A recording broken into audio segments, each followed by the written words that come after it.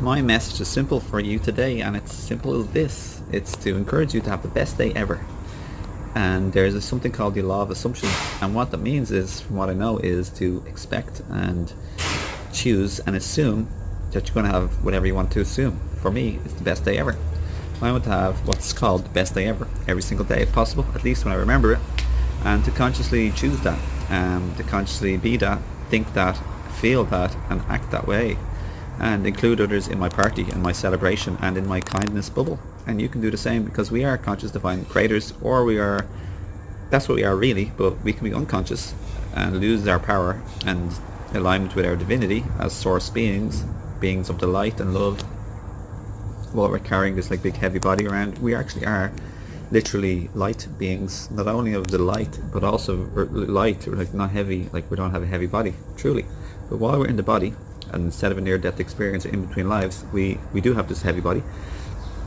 But we we can live and, and choose what we want, regardless of the weather. For example, like it's rainy here and cloudy and grey, but I could be going on and saying I'm gonna have the worst day ever, or sad, poor old me, or I can have a great time. Include others in my fun bubble, my happiness bubble, my joy bubble, my kindness bubble, my love bubble, caring and having fun and playing and being uplifting and positive and yeah, have a good own here. Hope you enjoyed. Lots of and as always, for anyone interested in my free gift book called Self Awareness and Living in the Now, a 43 page little ebook, please message me or comment below if you're interested.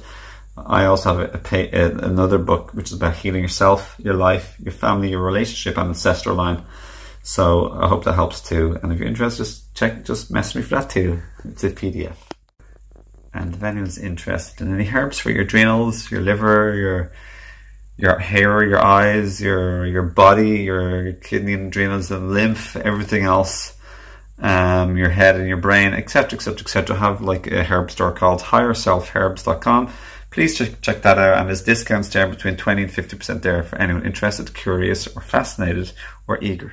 And I love to do as fast as possible, like first same day delivery. Uh, dispatch and little gifts and surprises and a personal note um, for anyone who orders from my herb store kit.